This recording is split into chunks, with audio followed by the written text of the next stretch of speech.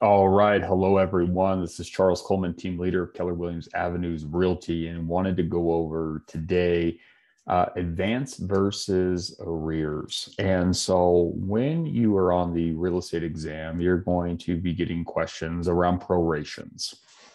And so, when you get a proration question, there could be uh, one of these things, right? They're either going to pay their money in advance or they're going to pay the money in the arrears. And so every time what we should be doing is creating this timeline, right? And so this is the start. This is the end.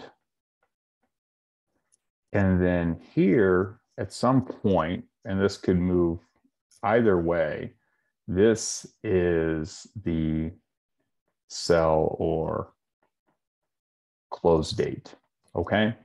So when we're looking at these different pieces, now we we have um, some areas to work with, and this is a, a great visual representation. So one of the things that we can do is let's say that we're talking about a like a water bill, right? And so same thing, I'm gonna have my water bill, and maybe this is um, February 1, this is February 28th, and then maybe we have Here's our close date, and let's just call it February 15th. Okay, so here's our, our visualization. This is truly going to be a water proration.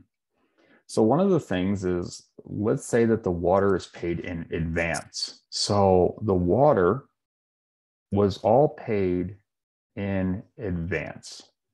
So it was paid somewhere on this side of the timeline for the entire month of February.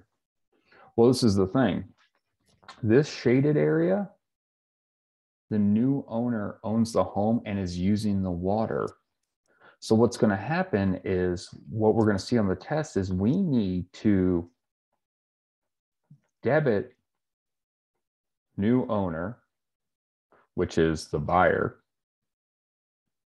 and credit the seller, right? Because it's not fair that the seller has to pay for all this water being used by the new owner who is the buyer.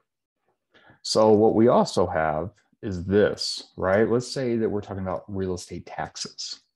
And I'm still going to draw the timeline, right? And we're talking January 1st through December 31st. And somewhere in here, we have a closing date. Um, and let's just call our closing date. Oh, July 31. All right, so we got January 1st, July 31st, and December 1st. And this is again, day of close. So the seller lived in the property during this time. And let's say the real estate taxes were paid in the arrears. So that means that if we are talking about 2022, the taxes won't be paid until 2023. So what we're looking at here is this. The seller needs to pay for all the time that they used right? This is all the seller's time. They benefited from the property from January 1st to July 31st. Well, this is the thing the taxes are not going to be paid until 2023, the next year, the following year. So, what's going to happen is we need to collect money from the seller so that the new owner, which is the buyer, can pay the taxes in 2023. So what this is going to look like is this is going to be debit seller and credit buyer. The third thing that you might see on the exam is going to look something like this. I think it could be around a water proration again.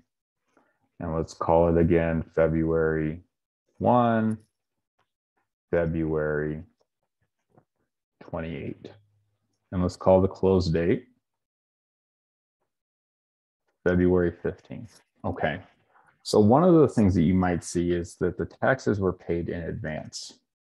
Or I'm sorry, the water bill was paid in advance. And then they're going to say something along the lines of the tax or the water bill was never paid. So they're due in advance and never paid. Well, at this point, right, we have the seller in here and the buyer is here. What we need to do then is we need to debit both the seller and debit